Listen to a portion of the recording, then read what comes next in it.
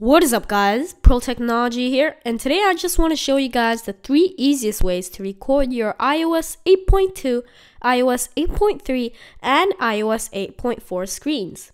This is compatible on iPhones, iPads, and iPods.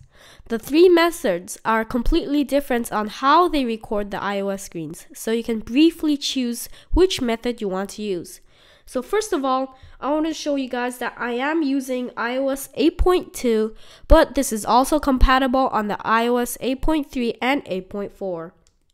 So the first application to record your screen is called Shou. You want to head over to an website called www.emu4ios.net. I will also link this URL down below in the description. Then once you're in this page, you want to download the application shown over here. Click get and then click install after the next tab pops up. Once you've installed EMU for iOS, you want to click on it. Then the first application, Shou, is what you want to download. Once you're in the Shou's page, click install, then it will start installing automatically. It is very fast. Once you've installed Shou, you want to open it up and over here you can see there's two selections, broadcasting and recording. To record your iOS screen, you want to choose start recording.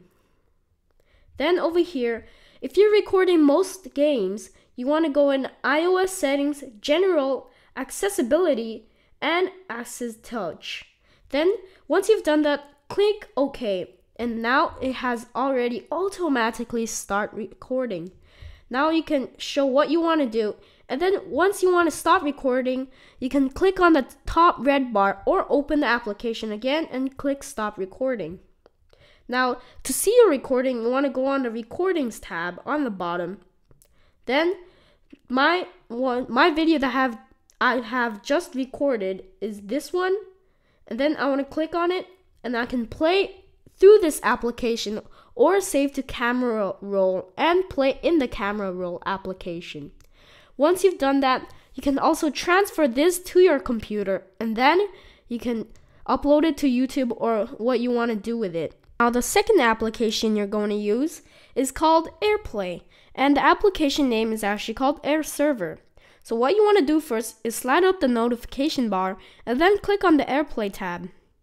Then Select your computer.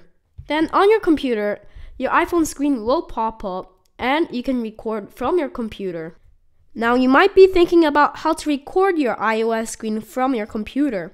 Well, simply you can open QuickTime Player, which is attached from when you buy it. Then click File, then New Screen Recording. Once you've done that, click that red button. Then you can select the iPhone screen. Once you've selected your iPhone screen, click Start Recording. Then now it is recording with QuickTime Player. Then after you've recorded, you can click Stop Recording. And then there is your new recorded iPhone screen. Now, the third way to record your iOS screen is by using ScreenFlow 5. First, you want to open up ScreenFlow, then click Command N, then select Start Recording. But before you select Start Recording, please make sure that you click Record Screen from then your phone. Now, there is some disadvantage. You can only record iOS 8 screens, and you will also need a device above iPhone 5. Now, once you've selected record screen from, then the name, you can start click click on the red button, then it will automatically record your screen. Then the good thing about ScreenFlow is that you can edit from what you've recorded without moving them.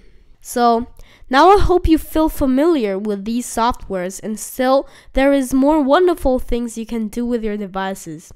Click on the top video to know how to install Nintendo DS and PSP emulators onto your device for free. Click on the bottom video to install Game Boy Advanced on your computer for free. Also, don't forget to subscribe to keep up to date. Have a great day guys. Peace.